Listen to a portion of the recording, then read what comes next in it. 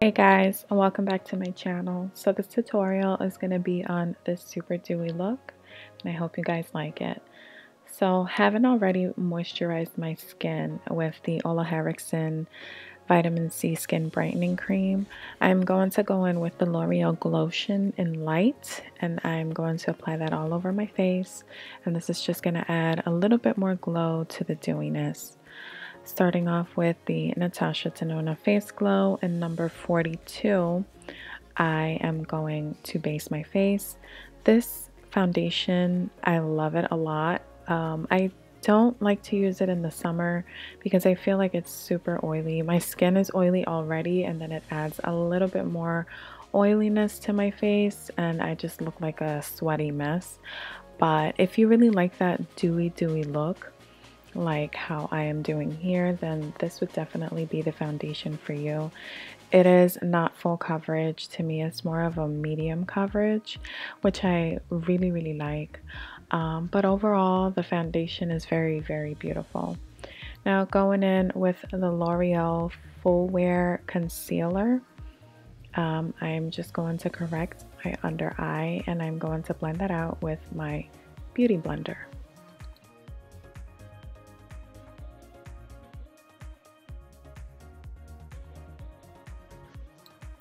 Taking my RCMA translucent powder, I'm just going to go over top that concealer that I just blended out so like that it can stay all day. I am making sure that I just set my eyelids and under my eyes and the sides of my nose. But everything else I am not going to powder because again this is a dewy look and if we powder everything then we're kind of doing the opposite of what we want. So just under the eyes, on the eyelids, and the sides of my nose is what I'm doing here. Now, I am loving this product um, for my eyebrows. It's the Iconic London, and so far, so good. It's a really good product, um, and I love the color. It's just perfect for my eyebrows. Now, taking the Anastasia Soft Glam makeup palette, I am going to apply this shade all over my lid. And then I am going to go in with a light orangey shade and I am going to use that as my transition shade. And then I'm going to take the color burnt orange and I am going to deepen my crease with that. And but I want to keep it soft. This is going to be a soft glam eye look. I just really want to focus on the skin. I don't want to bring too much attention to the eyes.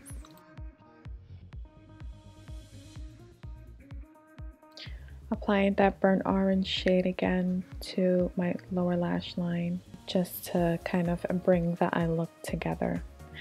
And then I am going to take my Tarteist Double Take Liner and just do my wing liner. Nothing fancy, just a regular liner and I am going to use that same pencil and just use the pencil side and align my waterline and we're done with the eye makeup for now.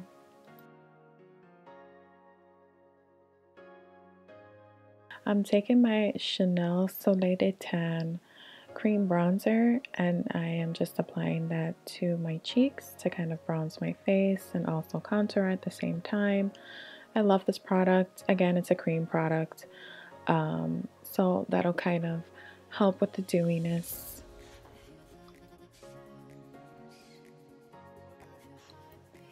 Even though I do go over it with a powder bronze, only because um, when things are too oily, they tend to move around a lot, and I do not like that.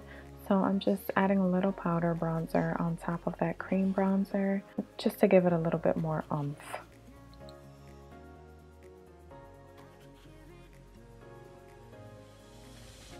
Now I'm going to take this Wet n Wild highlighter, I forget the name of it, and I am going to apply that to the highest points of my cheeks, my brow bone, right over my brows, a little bit over my the bridge of my nose, sorry, and my cupid's bow, of course.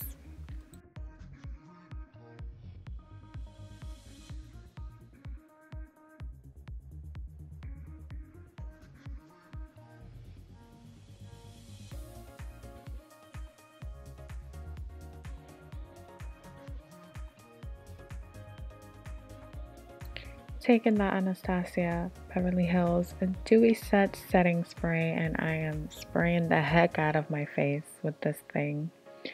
And then once I do that, once it dries down a little bit, I take that highlighter again and just dab it over that wetness because this will help enhance the highlighter a little bit more and just make it shinier.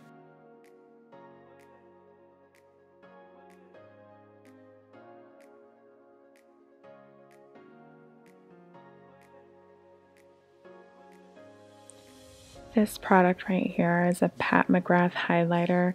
It's two sides. I am going to use this side right here, which is similar to Vaseline, or it's similar to what Vaseline can do. Um, it just comes in a more expensive packaging. But anyways, so I'm taking my finger here and I am just taking a little bit of that and applying it over the highlighter That'll help once again to enhance that highlighter a little bit more. Here I am taking the Kylie Cosmetics um, lip pencil in Dolce K or Dulce K. I'm not sure what it's called. I wanted to keep it nude. So now I'm taking the Anastasia loose powder highlighter and I am dabbing that over the lipstick as well as that Vaseline side of the Pat McGrath product. And this will just give it a glossiness to my lips. Now these are the House of Lashes Noir Fairy in black and I'm applying that to my eyes. This will open up my eyes a little bit more and give it a little bit more glam. And that's it guys, that's all for this look. I hope you guys enjoyed yourself and are able to easily pull off this look. Until next time.